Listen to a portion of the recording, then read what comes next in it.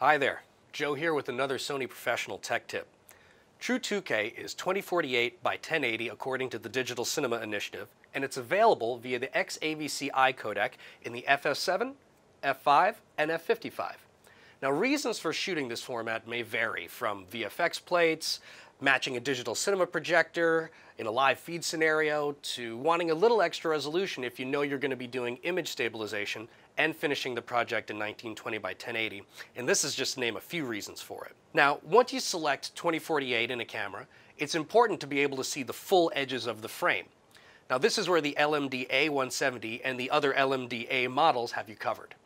So even though the LMDA series has only 1920 by 1080 panels, we have a feature called Pixel Shift, which allows you to pan around a 2048 frame.